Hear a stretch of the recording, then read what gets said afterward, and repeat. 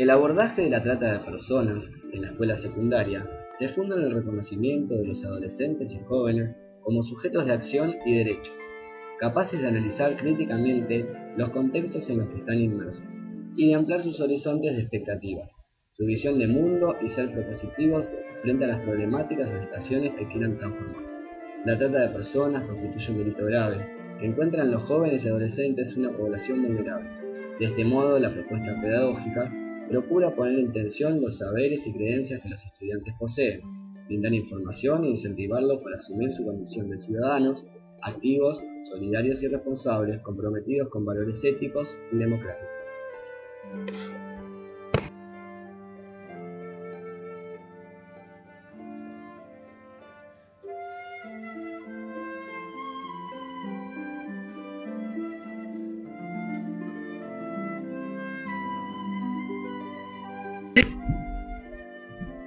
Bueno, vamos a comenzar hablando del tema. Eh, primero eh, vamos a mencionar el tema de la captación y el ofrecimiento. Bueno, las víctimas son captadas, eh, principalmente se les ofrece grandes oportunidades laborales, como puede ser el cuidado de ancianos, el cuidado de niños, ser promotoras publicitarias. a través de, estos ofrecimientos que las víctimas realmente se sienten atraídas, eh, eh, es la captación, como también en las redes sociales. Eh, las mismas, las víctimas son rastreadas, se busca información de, ellas a través de, terceros, a través de parientes, a través de amigos, y así se las engaña a través de internet principalmente y se llega a la captación.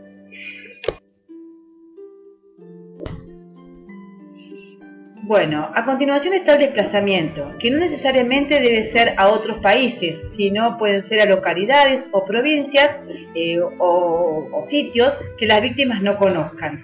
Eh, bueno, así es el desplazamiento, se las traslada, eh, son engañadas y ahí se las recluye.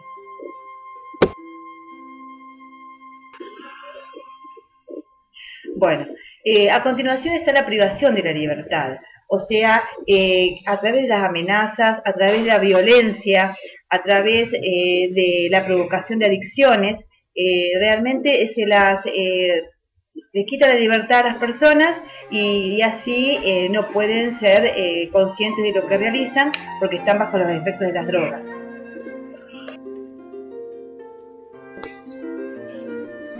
Bueno, el punto siguiente es sobre la explotación.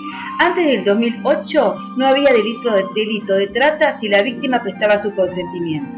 Esto cambió a partir de la ley 26.842.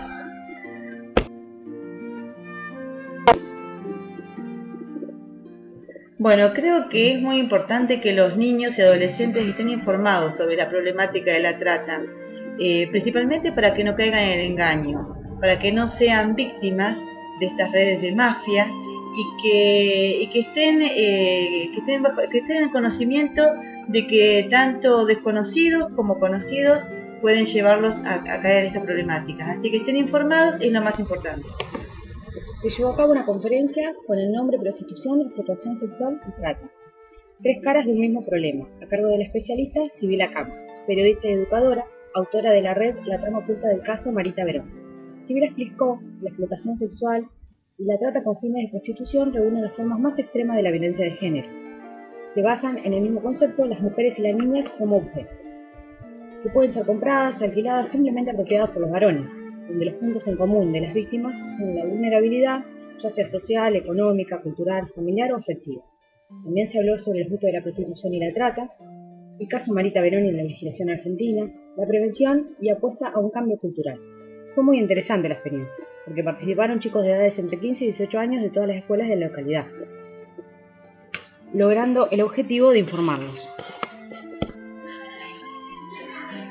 Bueno, sí, eh, yo las cosas que tengo, ponerle las tengo en todo en privado y la puede ver gente que conozco nada más.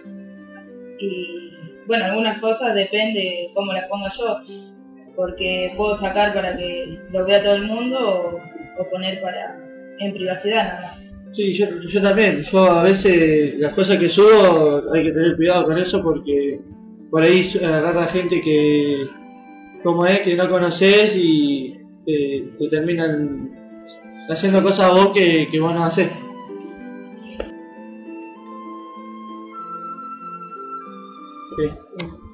Y los míos, ponerle, yo tengo de los 500, ponerle conozco a 300, por ahí nomás. Pero los otros son conocidos como para conocer amistad nomás.